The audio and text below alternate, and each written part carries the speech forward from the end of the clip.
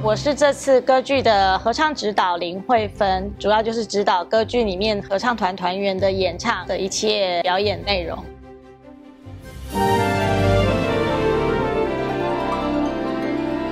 灰姑娘，如果要用一个词来形容她的话，我会用惊奇，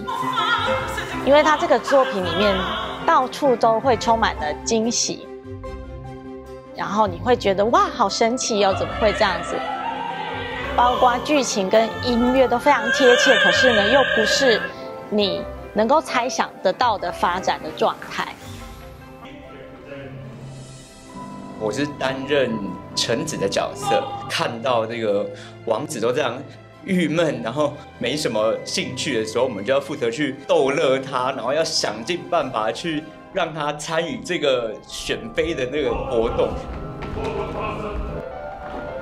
那我是主要在第一幕的呃仆人的角色，继母就是对我们仆人是多么的呃恶毒，然后我们要一直要表现出来，我们非常不想要跟继母在一起，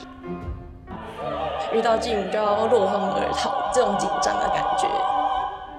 这部歌剧其实它的音乐非常的多元化，有快速的音群，有这个非常长又长的这个长音。还需要我们合唱团分了很多个声部，然后唱无伴奏，对上那个音准之后呢，这个乐团进来又不能够音对不上，每一个环节都是非常需要耗费很大的心力去练习、去揣摩。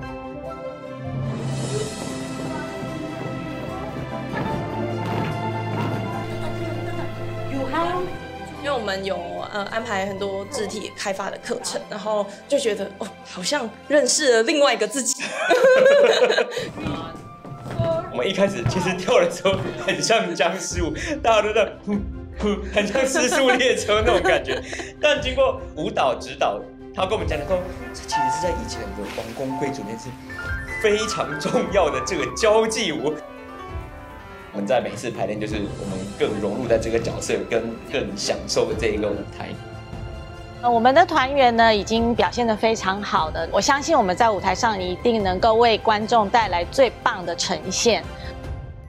欢迎大家在十二月十四号到十七号，十二月十四号到十七号来台中国家歌剧院欣赏马斯内歌剧《灰姑娘》，